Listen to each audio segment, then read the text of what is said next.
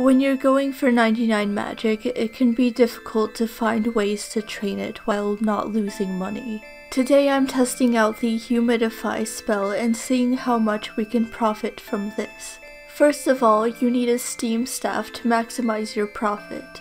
Not only do you save money on fire and water runes, but you can hold more clay in your inventory to humidify at once. When you cast Humidify, it humidifies everything in your inventory, so it's good to fit as much clay in your inventory as possible. And besides that, all you need is Astral Runes and 68 magic and completion of the quest Dream Mentor. The most common way to make money off of this is using clay and turning it into soft clay. You only use up one astral rune every time you cast the spell. You cast it once to humidify all of the clay in your inventory, then bank the soft clay and grab more clay to humidify. Okay, see you back in an hour.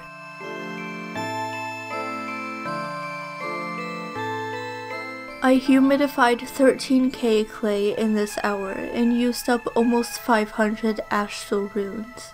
So I profited just over 300k GP. The wiki says you can humidify 22k clay and profit over 500k in an hour, but I assume that's if you're tick perfect. I was trying to be efficient and I still didn't make nearly that much, so I think this is a lot more realistic.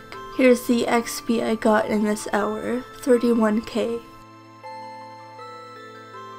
Another moneymaker you could use Humidify for is growing saplings. The spell replaces a watering can, so you can just sit at your bank and humidify your planted seeds and bank them and repeat. I'm just doing this for some seeds I got through Slayer or something and use for farming contracts but you could probably make about the same amount of saplings as soft clay that I made in this hour. And you could figure out how much you'd profit each hour that way. Doing an hour of humidifying saplings is very expensive, so I'm not going to test it out myself, but you could potentially make a lot more money off of it. The buy limit for tree seeds is pretty low and the prices fluctuate and it'd probably take a while to buy and sell everything, so you can't really do it as a moneymaker for a long time.